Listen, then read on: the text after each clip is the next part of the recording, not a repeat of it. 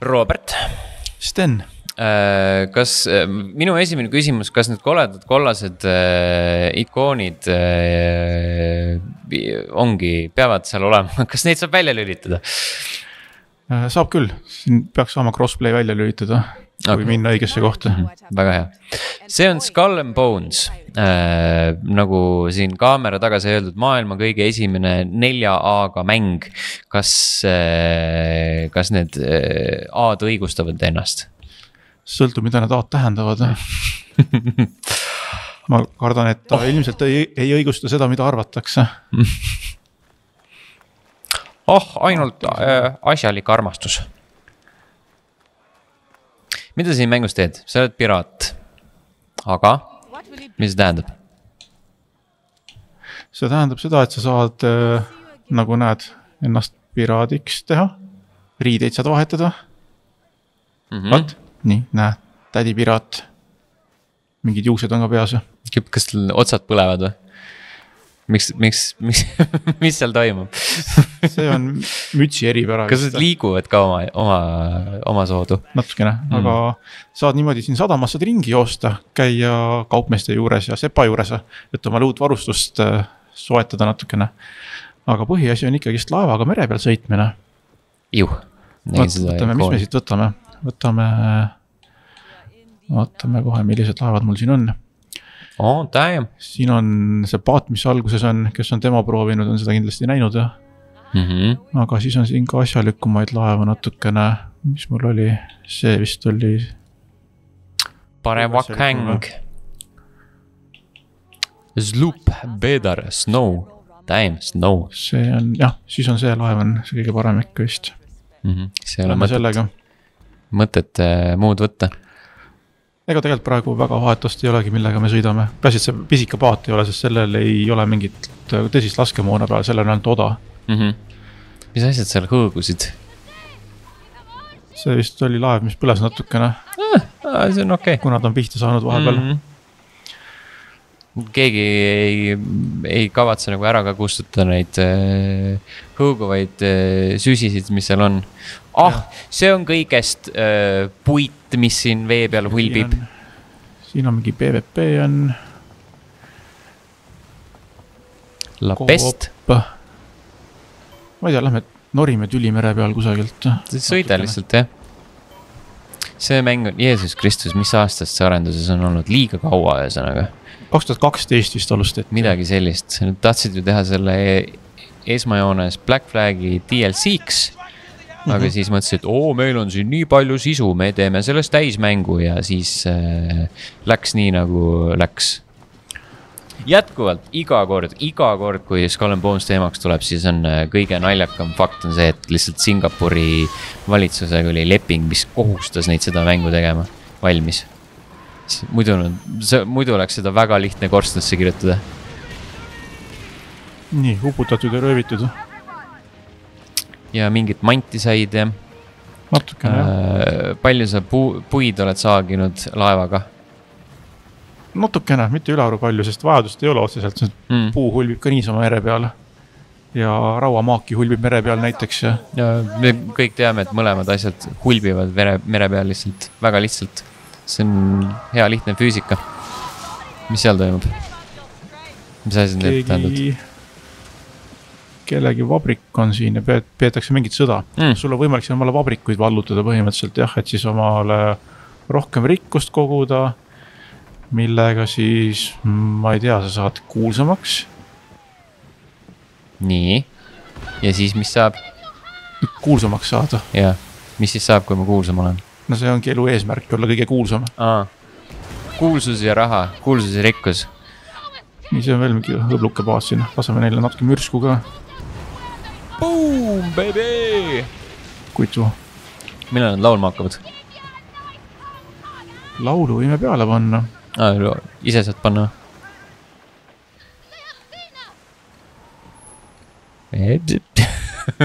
see ei olnud. nii, now neutral. nii, siin on see. mis asi see on? mingi suurtüki tuli või? Damn ongi joh, ei tee. oi-oi-oi, see oli päris karm. Tegelikult on siin veel lahedam relv, mille saad sinna laeva keskele panna, et ülevalt pommitada. selleks on mitmik raketiheitja, Mm -hmm. aga ma natukene mängisin sellega, aga siis võtsin maha, sest äh, ma ei tea, ma ei suutnud sellega sihtimist selgeks saada. teistega on enam-vähem, et näed, torpeedodega on võimalik pihta saada. ma nüüd ajaloos väga kodus ei ole, et ma ei tea, millal torpeedo päriselt leiutab. ma just tahtsin küsida seda, et see tundub kuidagi kahtlaselt äh, modernne tehnoloogia sellise, sellise laeva jaoks. Või noh, modernsem, kui võiks arvata. aga noh, mida me siin Euroopas teame, et võib-olla seal Aasias nagu olid asjad olemas juba varem mm. -hmm., püssirohi leiutati ka varakult ju. jaa, tõsi see on. mis seal siis on väike, väike intelligentne torpeedo teha, mis leiab oma sihtmärgi alati ülesse? Need ei ole intelligentsed, ma pean ikka sihtima, kuhu nad lähevad, nad lähevad väga otsejoones ainult. Mm. aga ma ütleks, et nagu need arvuti juhitud laevad on paremad sihtijad kui mina. Neil ongi, neil on, neil on see äh, intelligentne torpeedo. sa arvad lihtsalt, et on head sihtijad, tegelikult, tegelikult neil on äh, upgrade itud. aa, võib-olla tõesti mm. Mhm. -hmm. seda ei saa välistada. mul on selline tunne, kas me oleme kõik näinud, mida see mäng pakub sest see tundub nagu ta oleks kõik ära näidanud. näeme, Fantastic Mr Fob, siin on no, teine mängija on, kas tahad seda teha? Ma ei saa talle midagi teha, ma võin teda tulistada, aga see ei tee mitte midagi. aa, okei, sest kui sa tahad teise mängijaga nagu lahingusse minna, siis sa pead minema kaardil spetsiaalsesse kohta, kus on võimalik teha siis PVP Mm. lahingut. okei. mõnes mõttes hea, mõnes mõttes igav. ta on, selles mõttes on tore, et sul on valik, et kas sa tahad mingit sellist on ju raskemat mängu natukene või nagu purjetad niisama lammutad. aga sa küll on ju teiste mängijate vastu ei saa niimoodi suvalises kohas nagu kallale minna. Mhm. aga siin on mere peal on arvutipiraadid on, kes on sinust kõrgema leveliga natukene ja nii-öelda võivad tulla sind paari lasuga nagu ribadeks lasta mm.. Nice. ja see ei ole üldse selline väga vabatahtlik. Äh, ütle mulle, miks ma peaksin seda mängima? miks keegi peaks seda mängima? kas sa Black Flagi oled mänginud, jaa, siis sa ei peaks seda mängima, aa okei okay., siis mängi Black Flagi. siis on lihtne otsustatud. ma just mõtlesin nagu Black Flagis on see teema, et kui sa nagu sellest laevaga sõitmisest kõrini saab, siis sa vähemalt saad kuskile noh, Assassini missioone tegema minna. saad teha natuke midagi, midagi muud ka. ja oh, proovime pardale minna. ei õnnestunud, oh,. Crewboarding oh,, oh, oh. no nii, come on, mingid nupud, aa, ma tahan minna pardale röövima. aa okei aga selle eest hoopiski madalikul. väga intens, siin on veel mingi laevuke mm, -hmm. see on nii pisikene, meil on suuremat laeva vaja mida rünnata. suva, Need lähevad põhja, kui ma lasen no lase põhja siis. mida ta siin tuleb töllerdama? see on üldse mingi kalamehe paat, nii mingi saari ees jälle. see on esmaklassiline e-sport praegu meri on tegelikult ilus, näeb välja ju eh?. ega ta pala, paha ei ole ja laevad on ka peaaegu kenad. mm,. väike, väike, võib-olla need laevade disain võib-olla ei vaata päris ootusele, et äh, et ikka põleb. ei, pigem on võib-olla see, et kuna tegevus toimub on ju Kagu-Aasias, et võib-olla lihtsalt ajalooliselt need laevad ei ole asjad, mis inimestel nagu pähe tulevad kohe, kui siin nagu vaatad neid, et mis need disainid on. Ma arvan, et äh, tavaline inimene väga ei vaata seda laeva, mõtlen, teem Kagu-Aasias sellisel ajal selliseid asju ei olnud, ta vaatab, et ilus laev. ja mitmik raketiheitja on Ja peal mitmik ja torpeedosid saab lasta. palju see, palju seal veel rohkem vaja on, õnneks? nii, kas me siin saame pardale minna? proovime. nii, crew boarding. pane lihtsalt pidurid peale, pane pidurid plokki nii, saime pardale oh,. no nii, läheb lahti. Läheb lahti, kes on Black Flagi mänginud, siis seal olid eepilised lahingud äh, teise Jah. laeva pardal, kus sa siis äh, oli oht surma saada ja Jah. mis iganes pidid vaeva hüppad ja nägema. lammutad ja nii, tehtud. vehid mõõgaga, siin lihtsalt jee, kutid, let's go. nii, see tahab ka ära uppuda. aga, aga kui ma ei taha laevaga lahingut pidada, mis ma siis veel teha saan siin mängus? Äh, kui sa ei taha laevaga lahinguid pidada, siis sul on võimalik, näe vaata, kaevandada, Cool. nagu niimoodi käis, või siis merest sodi korjata, mis siin ringi hulbib. ahah, Äh, siis on võimalik käia sadamates, suhelda kaupmeestega, osta neilt odavalt kaupa ja seda kallilt edasi müüa teisesse sadamasse. ja niimoodi rännata sadamate vahet.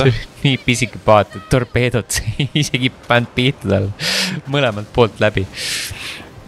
Tundub väga mitmekülgne pakkumine olevat jah. läbi põdelt paadist siis mm. -hmm. võib ka niimoodi.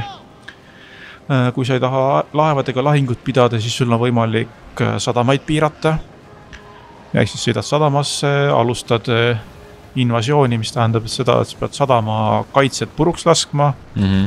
Ja siis aeg-ajalt saad sealt nänni ja siis nad kutsuvad abivägesid. mis muidugi paraku tähendab seda, et sa pead ikkagist laevadega võitlema. jah, jah, ma just tahtsin öelda, et nagu see kõlab väga nagu laevadega võitlemine. no sul on võimalik ka muidugi poole pealt ära minna, kui sa tõesti ei taha laevadega võidelda, et siis mm -hmm. teedki pisikese reidi ainult tundub, jätab siukse väga üheülbalise mängu mulje. ja natukene. siis sul on võimalik tegelikult äh, missioone ka siin teha, et äh, missioonides äh, osad on võitlused. Aga on ka sellist nii-öelda noh, me räägime Ubisoftist, et siin on meil ka fetch missioone ja tuleb kusagilt midagi ära tuua, teise kohta viia hmm.. kas ma, torne saab vallutada? kas nad teevad seda enam või? mis torne sa vallutada tahad? üleüldiselt nagu oli klassikaline Ubisofti valem oli see vahepeal, et vallutad torni ja siis avad natuke kaarti ja mis iganes. või saad midagi selle eest? no kaarti avad niimoodi, et sa purjetad seda läbi mm.. Asi seegi. et ega siin midagi muud väga vallutada ei ole. ma ei tea, ma mõtlen, et kui Black Flagi olla mänginud, siis ta nagu sihuke, mõjub nagu sihuke tore kuidas öelda, proof of concept mm., et on võimalik teha merel sõitmise mängu ma arvan, et mitte ükski video varem pole mind nagu niivõrd palju veennud kui see praegune, et, et mul ei ole vaja seda mängida. Iga hetkega huvi aina kahaneb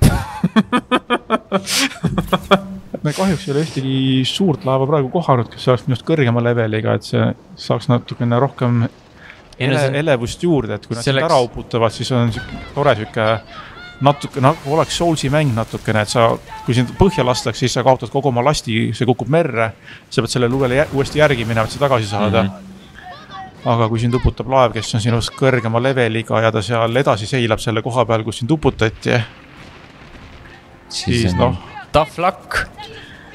siis sul on valida, kas sa tahad uuesti surma saada ja lootusetult ilma jääda kõigest või siis otsustad, et riskid.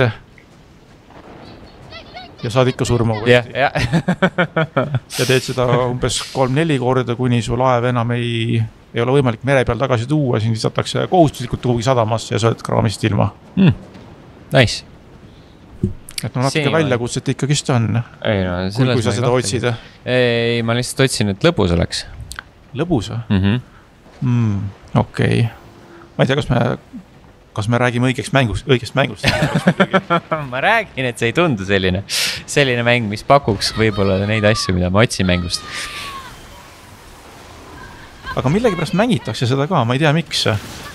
et siin on hunnik achievement'e mängu läbi tehes tuleb kaasa ja nii palju, kui neid mulle ette hüppab ka, ma ei tea, mingi viisteist või kakskümmend tundi hiljem mm -hmm. loos sees juba, siis ikka protsendid on seal kahekümne protsendi juures ja nii edasi. väga kahtlane ma arvan, et Ubisoft äh.... võib-olla need on need inimesed, kes on kümme aastat testinud seda mängu. ja, ja, ja siin, siin peab olema, siin peab olema mingi vandenõuteooria peidus. Need on Ubisofti enda töötajad ja kinni makstud äh,, kinni makstud mängurid. kas siin on veel midagi, mida me ei ole näinud? mida kindlasti peaks mainima. iga hooaeg tulevad mingid uued sündmused, ma saan aru. oi oh, issand jumal. et see on ju teenusmäng on see, siin on hooajad. mis tähendab, et sa saad äh, seilata ja võidelda. selle sama kaardi peal. jah mm -hmm., ja noh, esimene hooaeg läks käima. Nii palju, kui ma olen aru saanud, see tõi juurde mingid uued arvutilaevad hmm.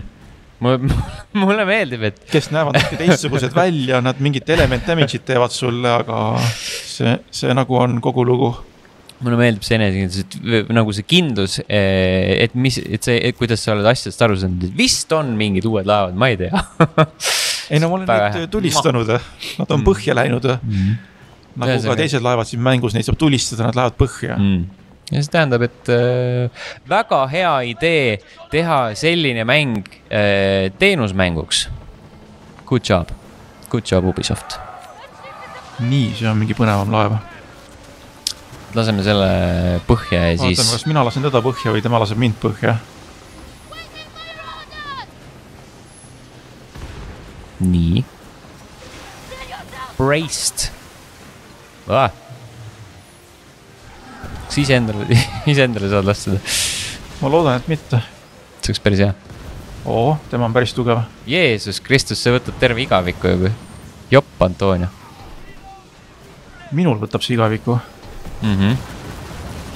nii äh,. aga. su eluriba vist on. kas ta ei taha mind tulistada? nii, juba annad alla.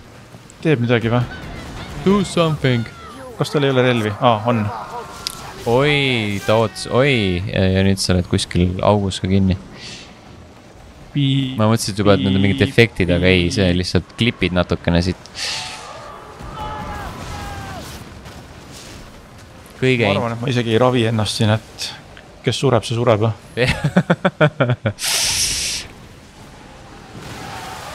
et ma pole kindel, kas ka Ubisoft ravib seda mängu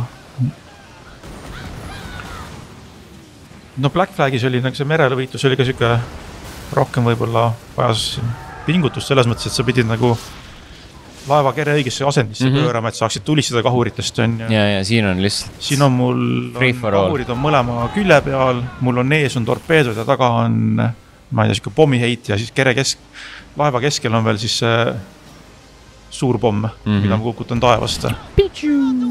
et mul nagu ei oma mitte mingit tähtsust, kus ma asetsen nii, aga ma arvan, et tal on lootust must jagu saada äh,. igatahes surmani. kes esimesena langeb. tõenäosus on tõenäosus on väike, et see on tema.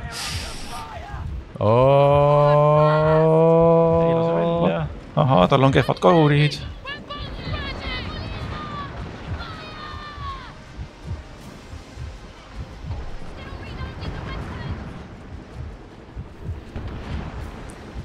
nii, Intense. Will we live to see another day? nii, nüüd ta peaks saama kohe mind ilusasti tulistada uh,. Uh, uh, uh, uh. no ühe korra saab veel uh,. Uh, uh.